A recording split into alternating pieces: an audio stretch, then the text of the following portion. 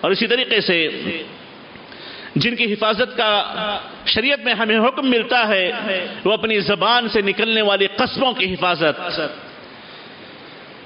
جب اللہ کے نام پر کوئی بات آپ کہہ لیں، اللہ کی قسم لے کر کسی بات کا اقرار آپ کر لیں تو اپنی زبان کی حفاظت کریں۔ قرآن مجید میں اللہ تعالیٰ نے فرمایا وَحْفَظُوا أَيْمَانَكُمْ وَحْفَظُوا أَيْمَانَكُمْ، اپنے قسموں کی حفاظت کرو، اپنی زبان کی حفاظت کرو، اپنے وعدوں کے عہد و پابند کی حفاظت کرو۔ ورنہ ان وعدوں کی خلاف ورزی میں بڑے افسوس کے ساتھ امت مسلمہ بے پرواہ نظر آتی ہے۔ زبان سے وعدے ہو جاتے، ان وعدوں کی زبان سے نکلی ہوئے قسموں کی کوئی حفاظت نہیں ہوتی۔ اور اسی طریقے سے جن کی حفاظت کا حکم ملا، اپنے سر اور سر میں جو چیزیں اس کی حفاظت اور اپنا بدن، پیٹ، اس میں جو چیزیں اللہ نے رکھی اس کی حفاظت۔ نبی کریم علیہ السلام نے فرمایا کہ الاستحیاء من اللہ حق الحیاء حق الحیاء، ان تحفظ الرأس وما وعا وتحفظ البطن وما حوا۔ کہ اللہ تعالیٰ سے صحیح معنوں میں شرمانے کا معنی یہ ہے کہ اپنے سر اور سر میں جو اللہ نے نعمتیں دی اس کی حفاظت کرو۔ اپنے پیٹ اور اللہ نے اپنے بطن میں، اپنے پیٹ میں جو اللہ نے نعمتیں دی ہیں، اس کی حفاظت کرو۔ اب اللہ نے جو بڑی بڑی چیزیں سر میں رکھی ہیں، مثال کے طور پر اپنی آنکھوں کی حفاظت۔ اپنے کان کی حفاظت۔ اس کا خاص طور پر بندہ خیال رکھے کہ حرام چیزوں کی طرف توجہ نہ ڈالے، حرام چیزوں میں اپنے کانوں کو نہ لگائے، حرام چیزیں نہ سنے نہ سنائے، اپنی زبان کا صحیح طور پر استعمال کرے۔ اللہ تعالیٰ کی، اللہ کے دین کی حفاظت ہے۔ کہ بندہ اس کی زبان سے سچی بات نکلے، اپنی آنکھوں سے حلال چیزوں کا استعمال کرے، اپنے کانوں سے حلال چیزیں سنے۔ اگر یہ بندہ کر لے تو یقینی طور پر اللہ کی حفاظت کرنے والا، اللہ کے دین کی حفاظت کرنے والا ہے۔ اور اسی طریقے سے اپنے پیٹ کی حفاظت کے بندہ اس میں حرام لقمہ نہ داخل ہونے دے۔ اپنے دل کی حفاظت کے دل میں کوئی کجی ٹیڑا پن داخل نہ ہونے دے۔ ان تمام کی حفاظت کا خصوصی طور پر شریعت ہمیں حکم دیتی ہے۔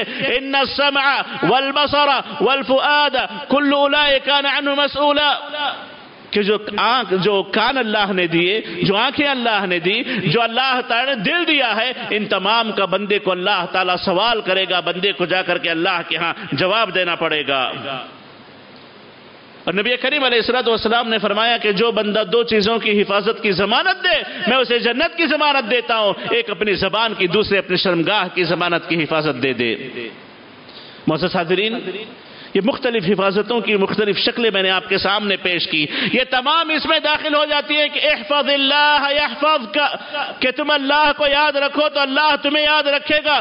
قبل اس کے کہ ہم اللہ کو دہائی دیں، قبل اس کے کہ ہم اللہ کی مددیں مانگیں، قبل اس کے کہ ہم اللہ تعالیٰ سے کسی قسم کا سوال کریں۔ ہم اپنا محاسبہ کریں کہ ہم نے اللہ کو کہاں تک یاد رکھا ہے۔ اگر ہم نے اللہ کو یاد رکھا ہے تو حقیقی معنوں میں اللہ کبھی ہمیں نہیں بھلائے گا۔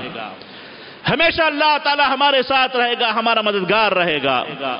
تو معزز حاضرین، شریعت کی پابندی کو لے کر کے اپنا محاسبہ کریں کہ کہاں تک ہم نے اللہ کی یاد، اللہ کا ذکر، اللہ کی شریعت کی حفاظت اپنی زندگیوں میں کی ہے۔ نتیجے میں اللہ کے نبی علیہ السلام والسلام نے کہا، احفظ اللہ احفظ کہ تم اللہ کو یاد رکھو گے تو اللہ تمہیں یاد رکھے گا۔ محسوس حاضرین اللہ تعالیٰ جسے بھلا دے نہ اس کی دنیا کامیاب ہوتی ہے، نہ آخرت کامیاب ہوتی ہے۔ اللہ تعالیٰ کے ذکر کی جسے پرواہ نہ ہو، اللہ تعالیٰ کو اس کی پرواہ نہیں ہوتی کہ دنیا کے کس کونے میں جا کر وہ ہلاک کو برباد ہو جائے، اللہ کو اس کی کبھی کوئی پرواہ نہیں ہوتی۔ حل جزاء الاحسان الا الاحسان۔ اللہ کا ایک قاعدہ ہے کہ اچھائی کا بدلہ اچھائی سے دیا جاتا ہے۔ برائی کا بدلہ عام طور پہ برا نتیجہ ہی نکلتا ہے۔ محسوس حاضرین، اللہ تعالیٰ کی حفاظت جو بندے کو شامل حال ہوتی ہے، اللہ کو یاد رکھنے کے بدلے میں اللہ تعالیٰ بندے کو جو یاد رکھتا ہے، بندے کی جو حفاظت کرتا ہے، عام طور پر دو بنیادی حفاظتیں ہوتی ہیں۔ ایک اس کے بدن کی، اس کی دنیا کی حفاظت اور دوسرے اس کے دین کی، اس کے ایمان کی حفاظت۔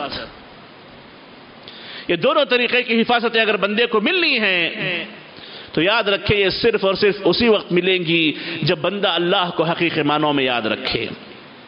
جہاں تک بدن کی حفاظت کا مسئلہ ہے، جہاں تک دنیا کے نفع و نقصان کی حفاظت کا مسئلہ ہے، جہاں تک اس کے اپنے طور پر محفوظ ہونے کا مسئلہ ہے، اس میں اللہ تعالیٰ نے چھوٹ دی ہے۔ کیونکہ اگر نقصان ہوگا تو صرف دنیا کا نقصان ہوگا، بدن کا نقصان ہوگا، لیکن جو حقیقی حفاظت اللہ تعالیٰ کی طرف سے ہمیں ملنی ہے، وہ ہمارے اپنے دین و ایمان کی حفاظت بندہ اگر ہمارے اپنے دین و ایمان کی حفاظت اللہ تعالیٰ اگر کر لے، تو اللہ تعالیٰ اس کو دنیا و آخرت پہ کامیاب کر دیتے ہیں۔